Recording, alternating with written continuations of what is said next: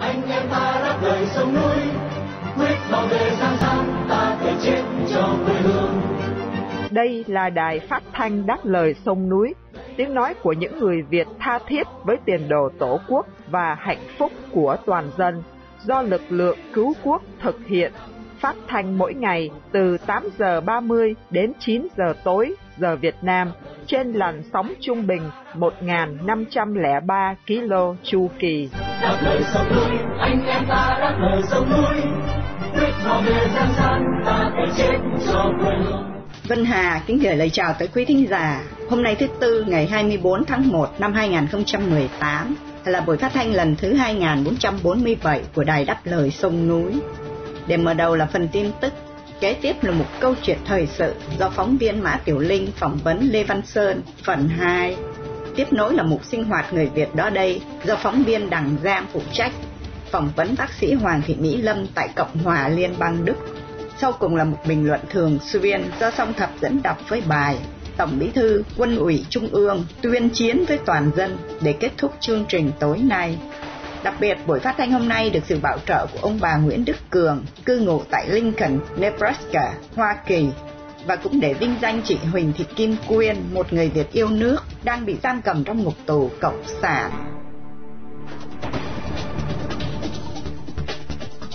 Mở đầu chương trình, mời quý thính giả theo dõi phần tin tức sẽ được Hoàng Ân và Miên Dương trình bày sau đây.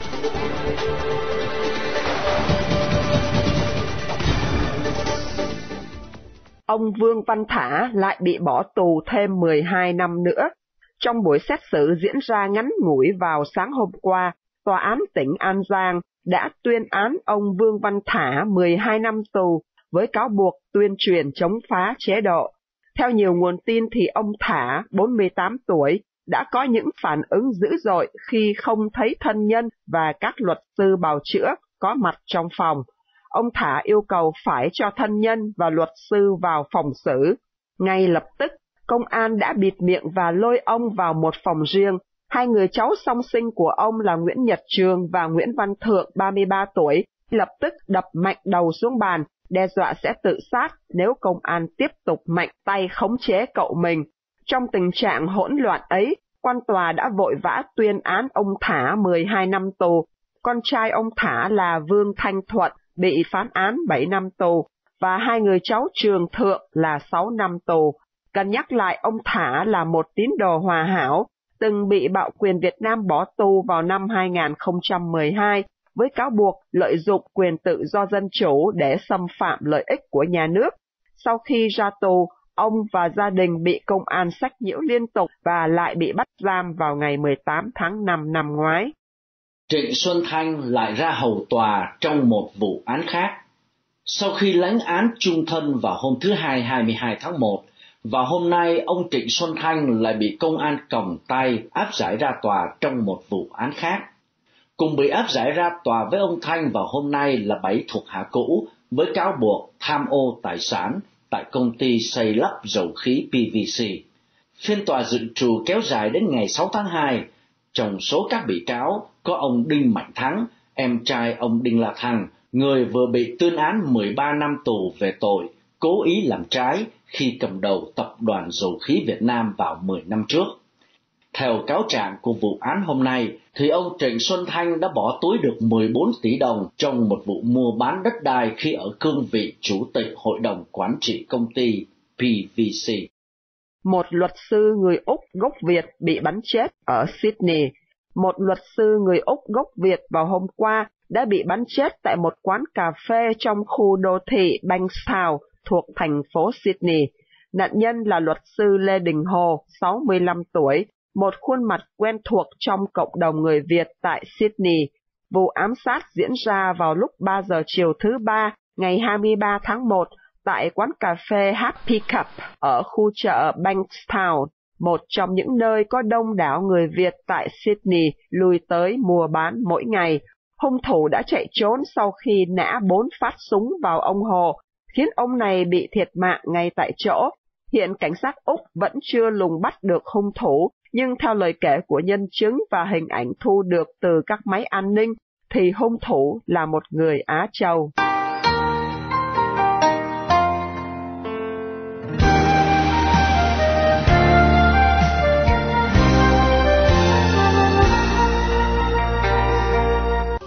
Giả đang nghe chương trình phát thanh đáp lời sông núi do lực lượng cứu quốc thực hiện từ ngày 15 tháng 5 năm 2011, phát thanh về Việt Nam mỗi ngày từ 8 giờ 30 đến 9 giờ tối giờ Việt Nam trên làn sóng trung bình AM 1503 km chu kỳ.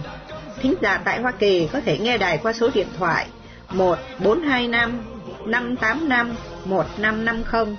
Chi phí mỗi buổi phát thanh do đồng hương khắp nơi đóng góp đóng góp tài chánh được giảm trừ thuế lệ tức. Quý vị ủng hộ tài chánh xin ghi đáp lời sông núi và gửi về PO Box 612882 San Jose, California 95161 hoặc qua PayPal trong website radiodlsn.com.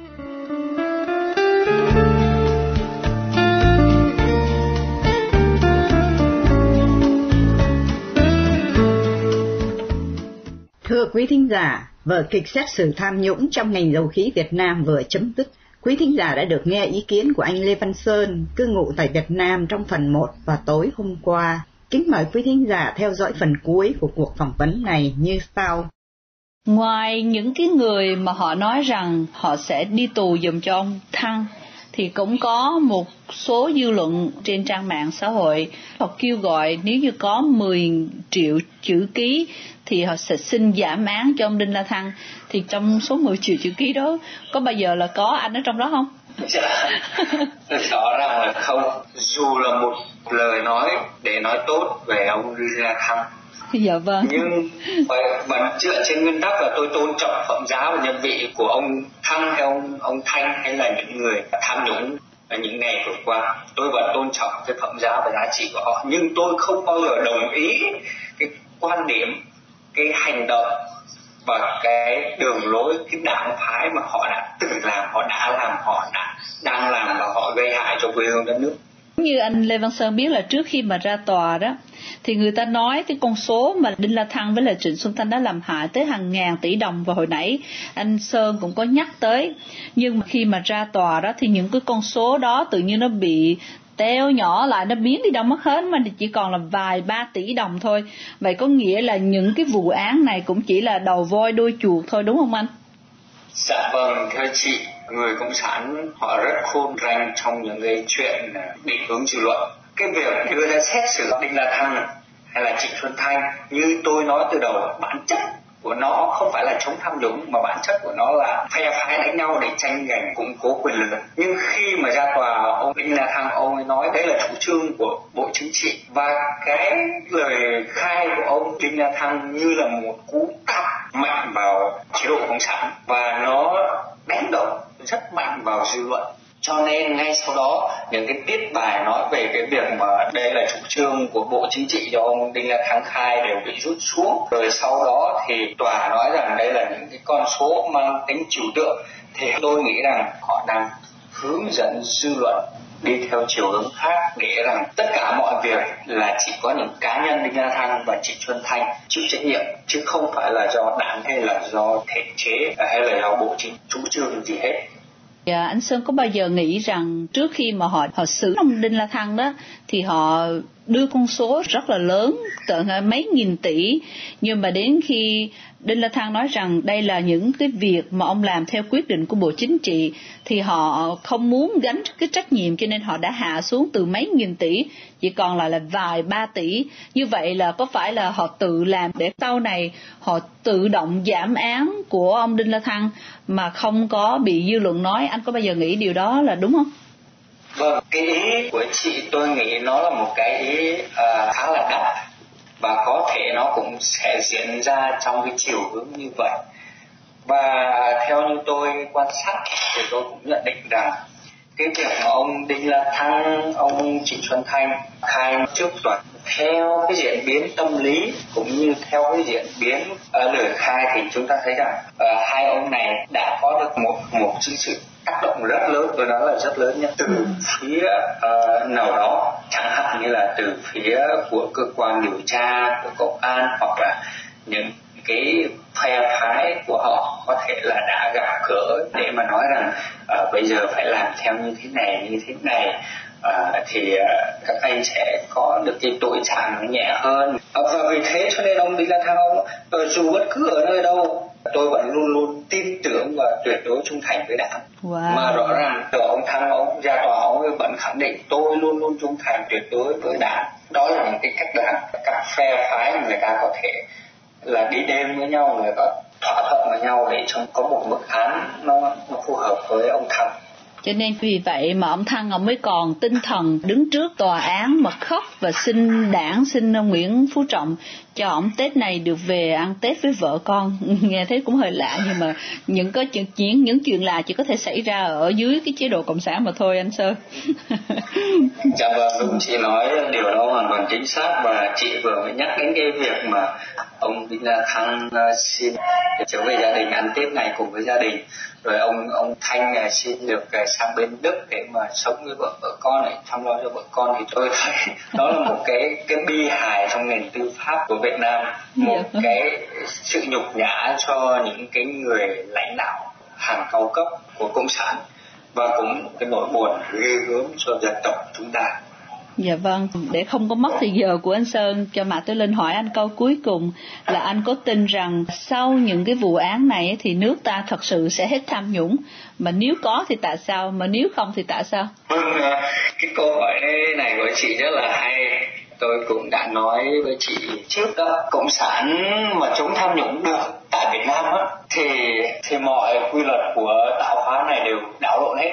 Cho nên đối với bản thân tôi tôi không hề có một cái niềm tin dù mẻ may, dù chỉ là không phẩy một phần trăm. Là rằng sau cái vụ Đinh La Thăng, Trịnh Xuân Thanh bị ra tòa về tham nhũng thì Việt Nam sẽ chấm hết tham nhũng. Chuyện đó không bao giờ thể xảy ra. Và ở đây tôi lấy bản thân tôi, tôi lấy cái cuộc sống của tôi, tôi lấy cái cái chết của tôi để tôi tôi dám khẳng định rằng nếu như một cộng sản mà chống được tham nhũng và ở Việt Nam không còn tham nhũng từ bây giờ trở đi thì tôi thà đâm cổ tự bật để tôi bảo vệ cái lời nói của tôi.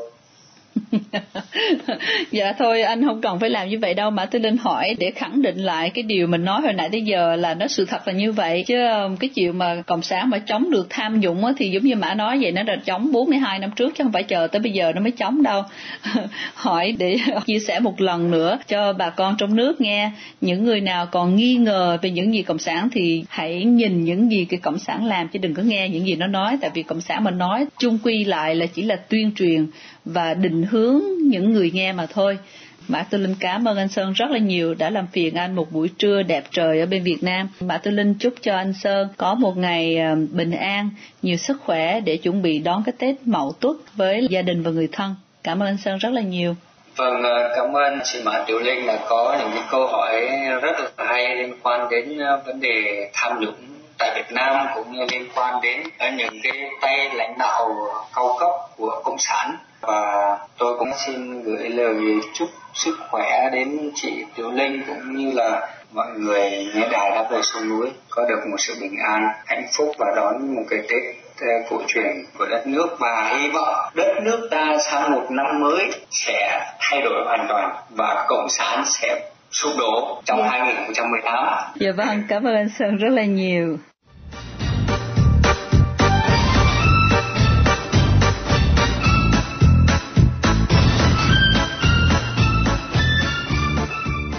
Thưa quý thính giả, bởi nhiều nguyên do khác nhau, hiện có khoảng hơn 4 triệu người Việt đang sinh sống bên ngoài lãnh thổ Việt Nam, mà đa số là nạn nhân của chế độ Cộng sản.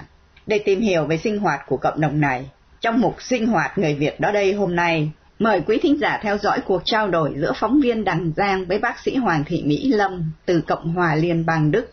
Bác sĩ Mỹ Lâm tốt nghiệp bác sĩ y khoa tại Đại học Sài Gòn năm 1976, sau đó làm việc tại Bệnh viện Nguyễn Văn Học năm 1979 vượt biên đến Bi Đông Mã Lai, đã được định cư tại Berlin, Đức Quốc năm 1981. Bà hành nghề trở lại từ tháng 11 năm 1983 đến tháng 9 năm 2016 thì về hưu. Bà được bầu làm chủ tịch Liên hội Người Việt tị nạn tại Cộng hòa Liên bang Đức trong hai nhiệm kỳ 2014 và 2018. Liên hội có 25 hội đoàn hội viên. Bác sĩ Mỹ Lâm đã trả lời từ Berlin, Đức Quốc trong phần 1 như sau.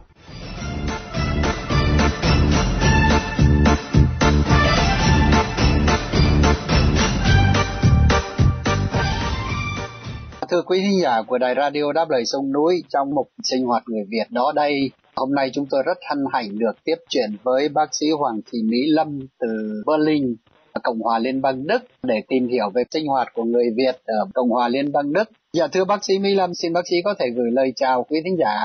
À, xin kính chào anh phóng viên Đằng Giang và xin kính chào tất cả quý thính giả của đài radio đáp lời sông núi. Vâng, kính chào bác sĩ. Hiện tại chúng ta có khoảng độ hơn 4 triệu người Việt sống ở hải ngoại rải rác khắp nơi và khoảng trên 100 quốc gia. Thế thì năm nay là 2018, theo bác sĩ thì con số người Việt Ờ, định cư tại Cộng hòa Liên bang Đức bây giờ có khoảng bao nhiêu người? Thưa phóng viên Đằng Giang, ờ, cái số lượng người Việt tổng cộng ở trên nước Đức á, thì cũng khó mà nói cho được chính xác tại cái số người họ ở lầu á, tương đối khá nhiều. Nhưng mà trên trên một cái thống kê chính thức á, thì số người Việt ở hiện tại ở Đức thì vào khoảng 120 ngàn người. Trong đó có khoảng 40 ngàn người là người Việt tị nạn, còn 80 ngàn người là những người Việt họ đến từ phía Đông Đức tức là những người làm hợp tác lao động cũ và một số người họ mới đến trong khoảng ờ, uh, 10 năm nay, tức là những người Việt mới đến trực tiếp từ Việt Nam không phải tị nạn. Riêng ở Berlin á, thì chỉ có cả thầy 26.000 người.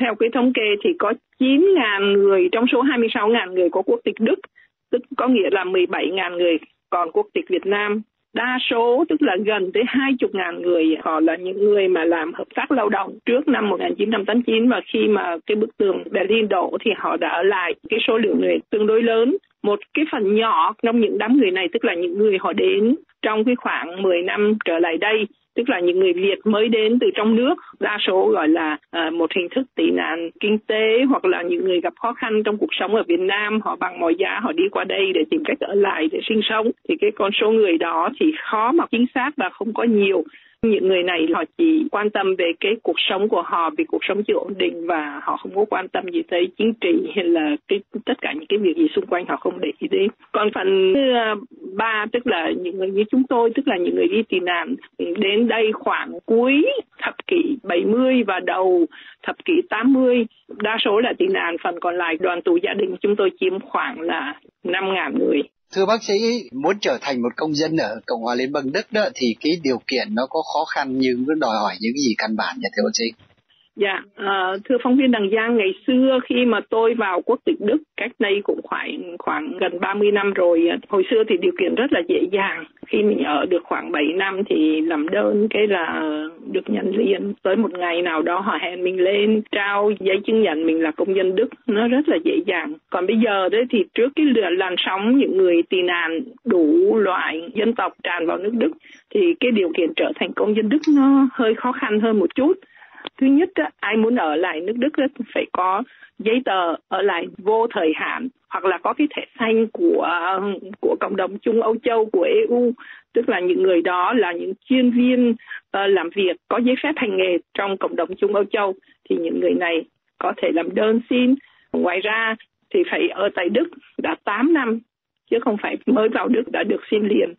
Và họ phải có một cái cuộc sống tự lập, không nhận tiền trợ cấp xã hội và có đủ trình độ đức ngữ. Cái này người ta thử bằng cách là đưa cho một tờ báo đọc và phải kể lại những cái gì viết trong tờ báo đó. Cái phần nữa là không phạm pháp, không bị xử phạt tù trong thời gian ở nước đức và phải có hiểu biết về hiến pháp đức. Phải có một cái cuộc thi về các luật lệ căn bản ở nước đức trong cái cuộc thi thì có 33 câu phải trả lời trong vòng 60 phút và nếu trả lời được 17 câu thì đâu. Những cái câu hỏi này nó xoay quanh cái vấn đề gọi thế nào là dân chủ, thế nào là sống hòa hợp trong một cái xã hội Đức. Để chuẩn bị cái kỳ thi này thì người ta có một cái bài học khoảng 300 câu của liên bang và 10 câu của tiểu bang mà người à, xin quốc tịch Đức đang ở. Chi phí cái tiền thi này cũng phải trả 25 euro cái điều kiện nữa đó là khi mà xin vào quốc tịch Đức thì phải thôi quốc tịch hiện tại đang có. Tức là ví dụ như người Việt Nam thì phải ra khỏi quốc tịch Việt Nam thì mới được vào quốc tịch Đức, không được giữ hai quốc tịch trẻ con sinh tại Đức thì được mang hai quốc tịch. Nếu mà cha mẹ chưa vào quốc tịch thì ví dụ như quốc tịch Việt Nam và quốc tịch Đức. Nhưng mà khi cháu mà nó được 21 tuổi thì phải quyết định chọn một quốc tịch. Nếu mà đứa trẻ đó còn sống tại Đức thì nó phải chọn một quốc tịch. Một là Việt Nam hai là Đức. Cái lệ phí đóng để xin được thành công dân Đức là 255 euro mỗi người.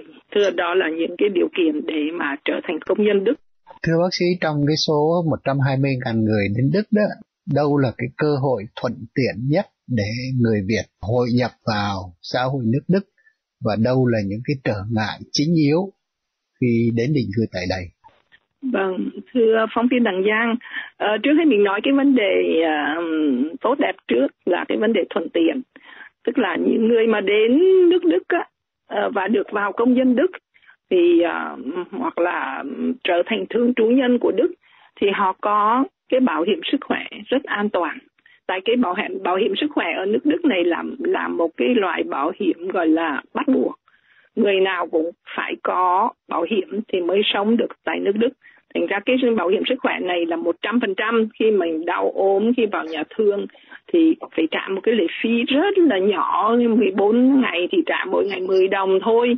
Còn tất cả những cái chi phí cả chục ngàn, cả trăm ngàn thì hãng bảo hiểm họ lạnh hết. Cái thuận tiện thứ hai là khi mà xa cơ thất thế tức là đụng cái bị thất nghiệp, bị đau ốm lâu dài thì vẫn có trợ cấp, tức là không có cái sợ. Như là cái nỗi sợ của người ở Việt Nam, tức là lúc nào phải dành dùng một số tiền để lỡ mà có chuyện gì thì mình bù đắp ở đây thì không phải lo những cái chuyện đó. Lúc nào mình cũng có một cái sự trợ cấp của chính phủ. Cái thuận tiện thứ ba nữa đó, rất là quan trọng, cái đó là cái hệ thống giáo dục miễn phí hoàn toàn ở nước Đức. Con cái của chúng ta khi mà nó muốn, nó có cơ hội để thăng tiến dễ dàng. Có nhiều người cha mẹ qua đây không biết đọc, biết viết mà con đã vào đại học và học thành tài thành ra cái cơ hội cho con cái rất là tốt, nhất là cái hệ thống trung học. Tiểu học thì không có lệ phí, còn lệ phí của đại học thì rất là nhỏ. Đóng một cái tiền nhập học bằng vài trăm bạc là được học một cách dễ dàng. Thành ra cái đó là những cái lợi thế, những cái thuận tiện cho người việt sống ở đức cái khó khăn của người Việt sống ở Đức á, là cái ngôn ngữ đặc biệt là cho người lớn tuổi tức là những người mà đến nước Đức lúc mà đã trên 40 tuổi rồi thì học một cái ngoại ngữ rất là khó khăn. Và cũng tùy theo trình độ nữa những người mà có học tiếng Anh tiếng Pháp trước rồi thì họ nhảy qua tiếng Đức học thì cũng dễ. Nhưng mà có những người họ chưa biết một cái chữ ngoại ngữ nào hoặc là có những người đọc tiếng Việt tiếng chưa thông thì họ học tiếng Đức rất là khó khăn. Và vì ngôn ngữ kém nên khó mà họ tìm ra được một công việc làm tốt trong những cái vị trí, gọi là, dẫn đầu người ta thì rất là khó, chỉ đi làm công thôi. Đó là những cái mà, gọi là, khó khăn. Họ tìm ra được một công việc làm tốt trong những cái vị trí, gọi là, dẫn đầu người ta thì rất là khó, chỉ đi làm công thôi. Đó là những cái mà, gọi là, khó khăn. Thưa quý thính giả, vì thời giờ có hạn nên chúng tôi phải tạm ngừng cuộc hội luận tại đây. Chúng tôi sẽ xin trở lại phần 2 với bác sĩ Hoàng Thị Mỹ Lâm vào tuần tới. Bóng quý thính giả đón theo dõi.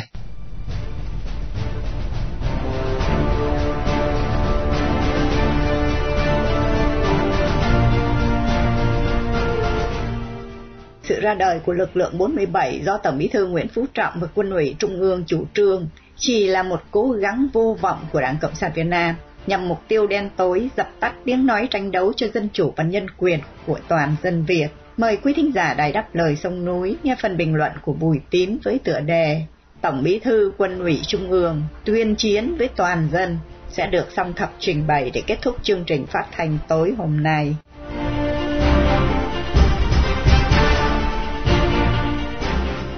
Các vụ xử đại án đang làm lu mờ một tin rất hệ trọng và nghiêm trọng. Đó là mở đầu năm mới 2018. Tổng bí thư Nguyễn Phú Trọng cùng quân ủy Trung ương quyết định cử Đại tá Tống Viết Trung, Phó Tổng Giám đốc Tổng Công ty Viễn thông Quân đội Viettel, làm Phó Tư lệnh Bộ Tư lệnh tác chiến không gian mạng. Kèm theo thông tin lực lượng này có 10.000 tinh binh mang tên lực lượng 47 47 là con số theo hình ảnh của khẩu súng AK-47, khẩu súng của Bộ binh Cộng sản Việt Nam trong chiến tranh. Quyết định trên mang ý nghĩa gì? Trước hết, cuộc đấu tranh trên không gian mạng ngày càng mở rộng, mang dấu ấn tất yếu của thời đại kỹ thuật truyền tin hiện đại, bén nhạy.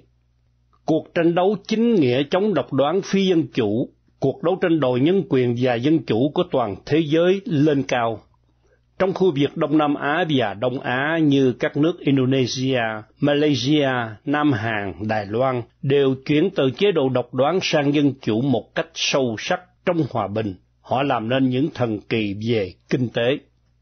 Ở Việt Nam, mấy năm nay, phong trào đòi dân chủ và nhân quyền có bước phát triển rõ rệt. Đây là nét son tươi thắm đẹp nhất của tình hình chính trị nước mình, những thành tựu đáng trân trọng nhất. Người dân nước Việt Nam quen phục tùng trong thời chiến đã bắt đầu mở miệng tự tin nói lên suy nghĩ của chính mình.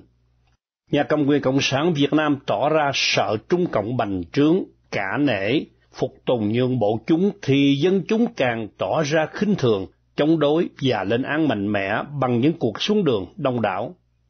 Chưa bao giờ nước Việt Nam có đến hơn 40 tổ chức xã hội dân sự phong phú, tồn tại vững chắc, từ tổ chức cựu tù nhân chính trị, hội nhà báo độc lập, văn đoàn độc lập, hội luật sư chuộng công lý, hội các tôn giáo và liên tôn giáo, các mạng dân làm báo, dân luận, đối thoại, đàn chiêm việt, tiếng dân, các câu lạc bộ tự do, các blogger tự do, vân vân. Nhiều cán bộ cao cấp, trung cấp và đảng viên thường thoát đảng, ra đảng, bỏ sinh hoạt đảng đã lên tiếng chống lại đường lối và chính sách giáo điều cổ hủ. Vai trò chăn dắt dân chúng của ban tuyên giáo trung ương bằng báo chí, loa, đài ngày càng trở nên vô duyên.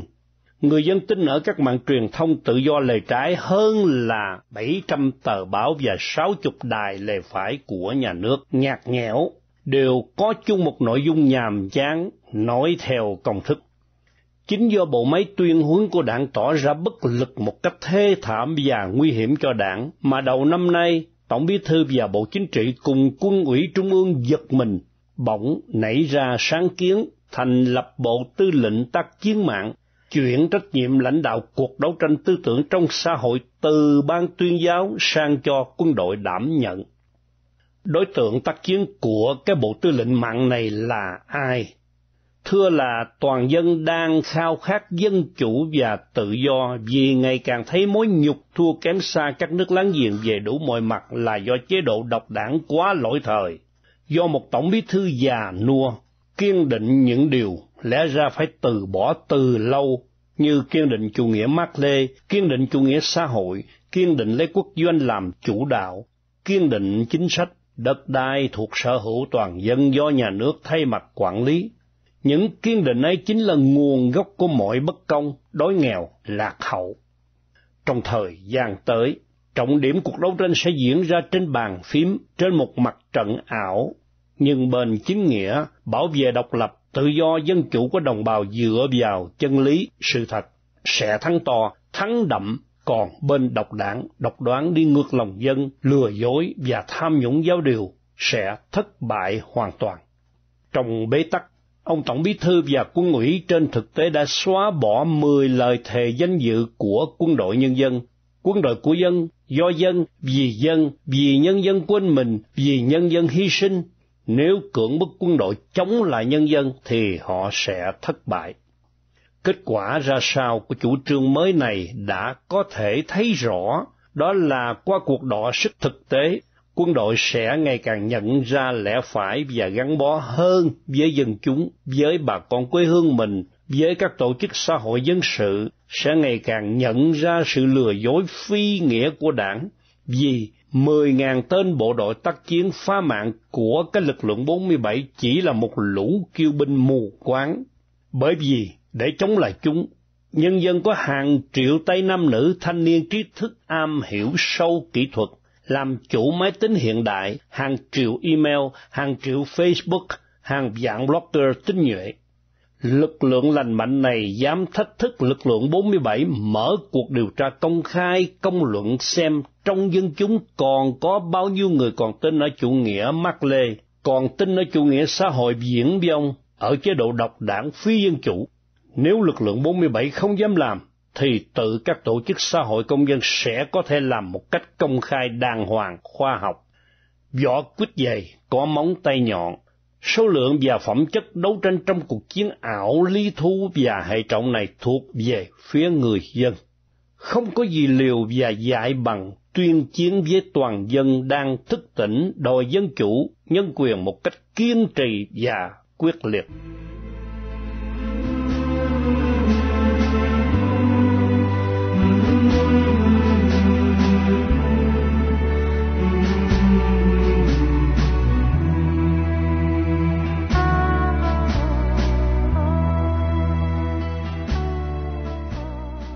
Trước khi chia tay trong buổi phát thanh tối nay, kính mời quý thính giả cùng Đài Đáp Lời Sông Núi nhớ đến chị Huỳnh Thị Kim Quyên, sinh năm 1979, bị bắt ngày 30 tháng 4 năm 2017.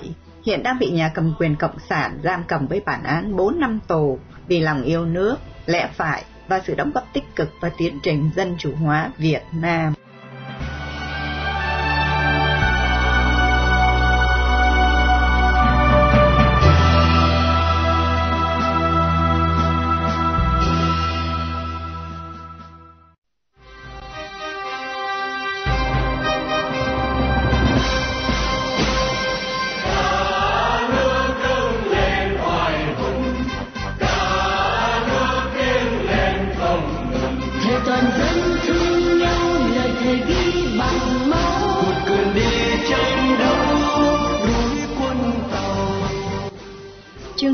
Thanh đáp lời sông núi, hôm nay đến đây là chấm dứt.